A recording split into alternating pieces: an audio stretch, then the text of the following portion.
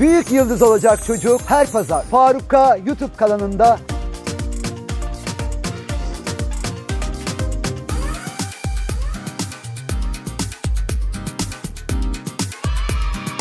her pazar saat 11'de.